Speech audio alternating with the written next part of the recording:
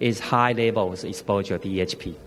And uh, compared to the other country study also, this is a, uh, another study that uh, to look at the association with the building uh, characteristics and the phthalate exposure. Uh, they look at the uh, they they measurement the, the the phthalate in the the indoor dust, and they found that the, the PVC material in the floor and the DEHP and the DIBP will increase uh, uh, from the, the measurement. So we are we exposure uh, such as the flow at here is most of them is coming from the PVC. Okay, this is our living environment. So the evidence of the phthalate exposure and the cardiovascular risk factors, um, a growing a number of reports showing that the phthalates are uh, associated with cardiovascular disease risk factors. And most studies uh, are from the National uh, Health and Nutrition Examination Survey. It's an NHANES study from the United States. And they found that the increased risk of the obesity and the glucose homeostasis here.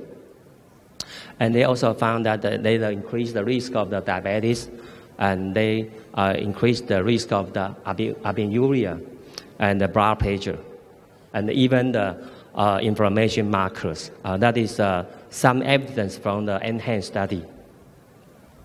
And here uh, we try to, uh, to test the possibility, the association between the endo endothelial and the platelet microparticles and the phthalate exposure in our study group. Uh, microparticle and uh, atherosclerosis. Uh, we know that atherosclerosis is uh, uh, initiated uh, by endothelial dysfunction and cell apoptosis, inflammation, and then atherosclerosis development and induce the formation of microparticles.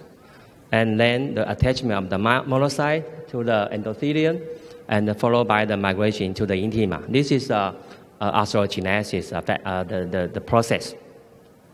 And because the CD31 was expressed in the apoptotic platelet, and the CD42a uh, was expressed only in the apoptotic platelet cell. So we're using uh, CD31 and the CD42a plus or minus to define uh, the, the, endothelial microparticle or the platelet microparticles. So this is a, a scheme of the atherogenesis uh, the, the monocyte activated and uh, monocyte migration.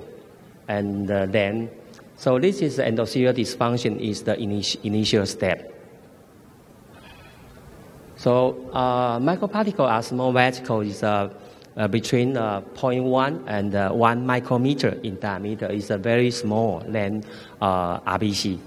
Microparticle concentration are increase the risk in patients with cardiovascular risk factor or the, after the, cardiovascular event. So some study they uh, have uh, uh found that the endothelial microparticle and the microparticle as the emergent uh, surrogate marker of the chronic endothelial dysfunction. So here uh, we found that the microparticle can induce the, the, the, the endothelial dysfunction and by disrupting uh, annual production and promotion pro-inflammatory factors and uh, coagulation factors. So we uh, measure the endothelial uh, microparticle and the platelet microparticle uh, using the flow cytometry measure, and we using the uh, LC tandem mass uh, system to measure the urine phthalate metabolite.